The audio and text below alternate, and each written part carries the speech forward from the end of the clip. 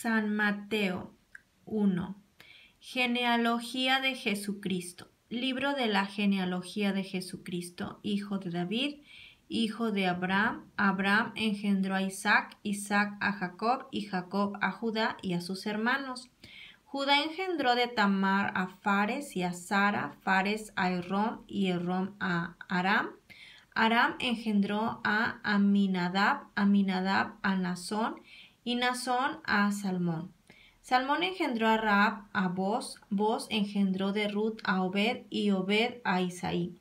Isaí engendró al rey David y el rey David engendró a Salomón, de la que fue mujer de Urías. Salomón engendró a Roboam, Roboam a Abías y Abías a Asa. Asa engendró a Josafat, Josafat a Joram y Joram a Usías. Usías engendró a Jotam, Jotam a Acaz y Acaz a Ezequías. Ezequías engendró a Manases, Manases a Amón y Amón a Josías. Josías engendró a Jeconías y a sus hermanos en el tiempo de la deportación a Babilonia. Después de la deportación a Babilonia, Jeconías engendró a Salatiel y Salatiel a Zorobabel. Zorobabel engendró a Abiud, Abiud a Eliakim y a Eliakim a Azor. Azor engendró a Sadoc, Sadoc a Akim y Akim a Eliud.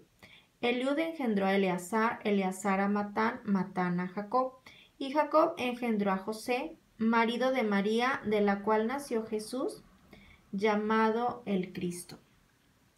De manera que todas las generaciones desde Abraham hasta David son catorce, desde David hasta la deportación a Babilonia catorce y desde la deportación a Babilonia hasta Cristo catorce. Nacimiento de Jesucristo. El nacimiento de Jesucristo fue así. Estando desposada María su madre con José antes que se juntasen, se halló que había concebido del Espíritu Santo José su marido, como era justo y no quería infamarla, quiso dejarla secretamente. Y pensando él en esto, he aquí un ángel del Señor le apareció en sueños y le dijo, José, hijo de David, no temas recibir a María tu mujer, porque lo que en ella es engendrado del Espíritu Santo es.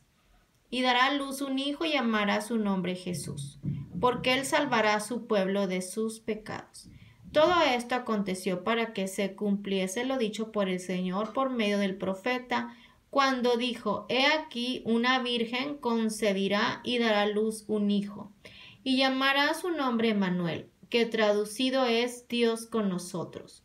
Y despertando José del sueño, hizo como el ángel del Señor le había mandado, y recibió a su mujer pero no la conoció hasta que dio a luz a su hijo primogénito y le puso por nombre Jesús. Amén.